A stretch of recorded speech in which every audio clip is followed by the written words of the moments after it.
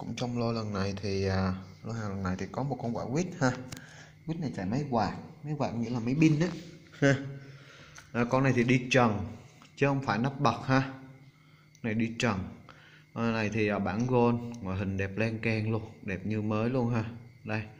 Anh em mình à, nếu mà theo bài mình quen rồi thì sẽ hiểu rằng là anh ba này là Seiko ha nó là tên quốc nội, có nghĩa là tên nội địa của Seiko có nghĩa là khi mà nó nó gia công trong nước thì nó sẽ lấy tên là anh ba, ha. Ví dụ ở đây anh ba rất là nhiều, ha. Mình bán anh ba rất là nhiều rồi. Anh ba này, anh ba Seiko nè, anh ba Seiko này dạ nó chạy máy Seiko chính hãng, ha, anh ba. Thì cái này mình bán nhiều lắm rồi. Thì mình quay lại mình nói con này.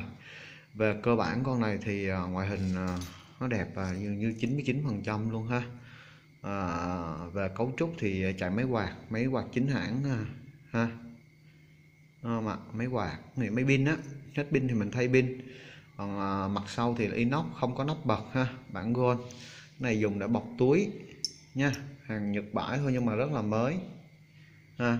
Mặt con này thì à, chắc cỡ tầm 30 à, để mình đo ha. Mặt con này thì à, chính xác luôn là 36 nha thấy chưa? Để mình đo chính xác luôn nè. À, 36 36 ha. Mặt 36 không tính nấm rồi lâu lắm rồi mới gặp lại con quýt. Quýt này quýt pin ha. Một số anh em đặt quýt lên quýt cơ nhưng mà mình chưa gặp. Gặp được thì mình sẽ úp sau.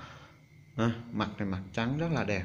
Anh em là chơi siêu tầm hoặc là đeo để bỏ xe ô tô hoặc là bỏ ấy thì à, lấy nó chơi cũng được ha rồi vậy nhé anh em là có nhu cầu thì gọi cho mình. Ha. có một con này à, giá thì mình để trên tiêu đề luôn. Ha để trên tiêu đề luôn. Từ vì con này mình đi solo cho nên mình để giá trên tiêu đề luôn. Rồi anh em nào à, thích thì gọi cho mình ha. Rồi chào mọi người.